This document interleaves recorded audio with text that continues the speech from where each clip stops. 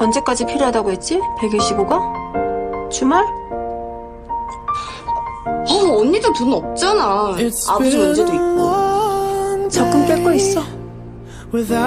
고마워서 어떡하지? 우리 엄마 돌아가셨을 때 회사에서 온 사람 너 하나였어. 내가 그런 거 있을 것 같냐? 이 숫자 뭐야? 우리 엄마 죽은 날. 넌 왜 옷을 그렇게 입어? 예쁘게 입고 오라며. Why'd you have to leave so soon? 한 두 번밖에 안 Why'd 신은 you 건데. have to go? 아, Why'd you have to leave me when I needed 너무 you the 싸보이게 most? Cause I don't really know how to tell you without feeling much worse. I know you're in a better place, but it's 신아? 언니는 Carry 와봤잖아. on. 이거 엄마야. 가격 묻지 마. Carry 우리는 on. 언니는 진짜로 돈이 많으면 뭐 하고 싶어? 넌? friend. 동생들이랑 샤시 잘 된 아파트에 살고 싶어. 언니는 없어? 난 아무것도 안 할 거야.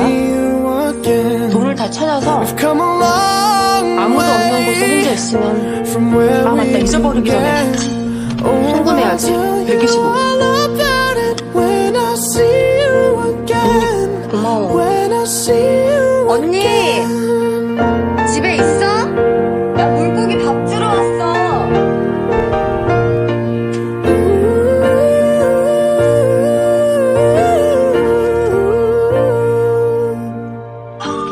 How do I breathe without you? I'm feeling so cold.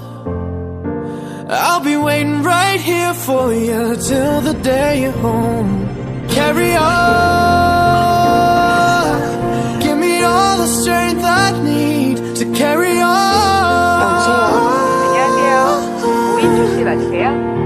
So let the light guide your way.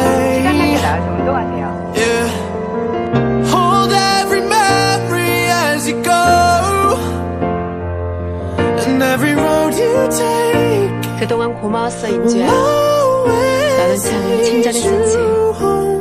동생들이랑 샤시 잘된 아파트에서 살길 바래. It's been a long day without you, my friend. And I'll tell you